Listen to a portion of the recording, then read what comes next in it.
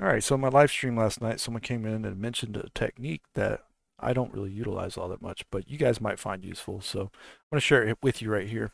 It's really quite simple. So uh, when you first get into sub-D modeling, you might have realized that if you take a shape that's something like this, go into edit mode, select everything, control B and bevel, and then you mouse wheel up once, uh, you might be able to do something like this. creates these kind of little corners, right? And so you could take this press Control 2 and subdivide it. As long as it was a quad mesh to begin with, usually you won't have any problems as long as those bevels all lay out appropriately, right? Shade it smooth real quick. Right. Now, this is like a non-destructive version of this. Basically the same thing though. So what we're going to do is apply a bevel modifier. Okay. And you can see we can adjust the amount here. Hold shift to get a little bit of a finer transition between the, the sizes there. But you see it's almost doing that.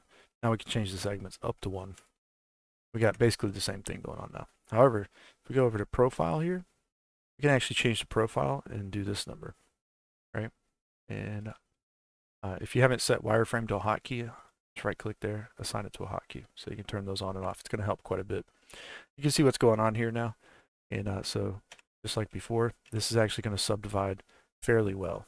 Okay, so if we do a subdivision surface below it, bump it up, shade it smooth, there we go. Just like that. There, okay?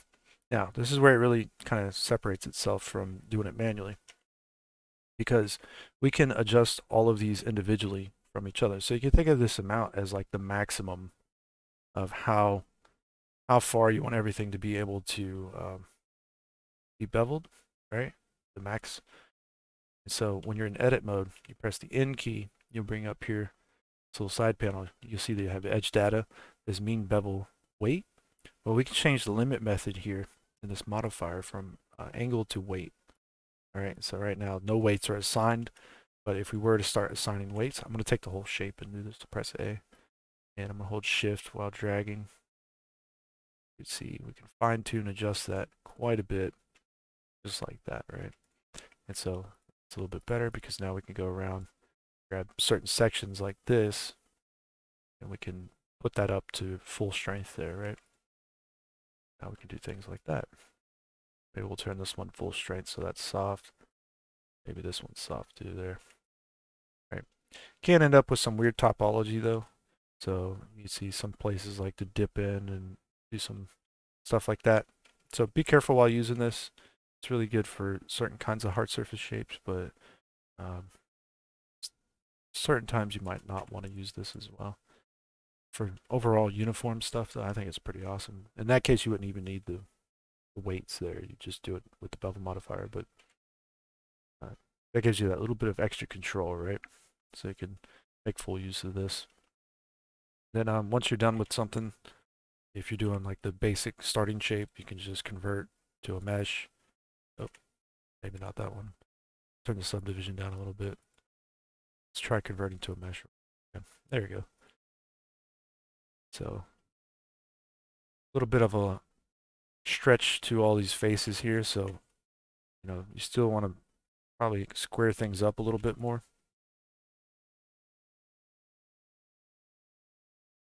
Before you convert it to a mesh, so they'll come out a little bit nicer. Those are still too elongated, but um, this will be a better starting point if you're going to do any more additional modifications to this. And you can certainly try to repeat that process. Nothing wrong with that.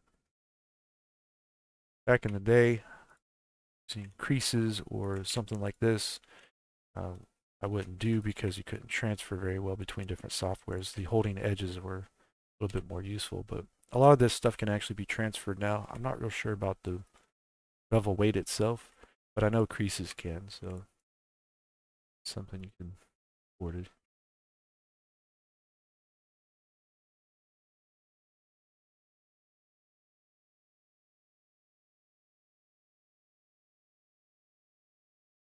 one here real quick.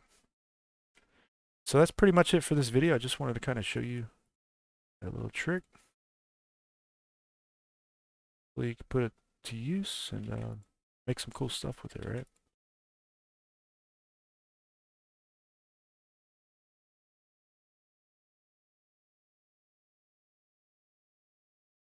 Right. So there you go. Have a little bit of fun with it. And um, hope you enjoyed the video. Take care, guys.